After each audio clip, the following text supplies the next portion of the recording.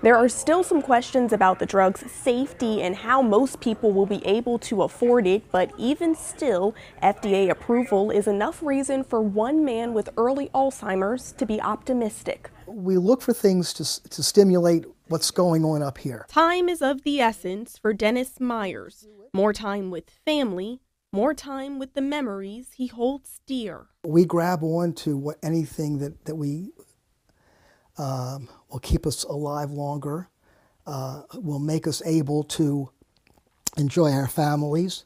Myers is a retired physician's assistant. He used to help diagnose people with Alzheimer's, but in 2020, he was diagnosed with the disease himself. It's an irony, really, because uh, having seen people, diagnose people, and now here you are, and you're in their shoes it's like just a cloud that you have of something that's that's slowly but surely uh, that is tearing away people, that is um, uh,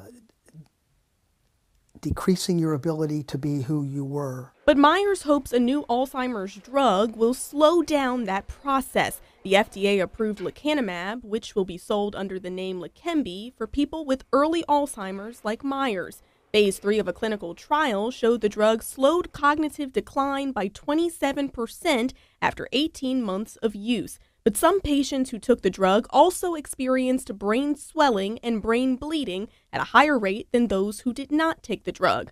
Myers says he will weigh the pros and cons. My next step is going to my doc and see, you know, what's it all about?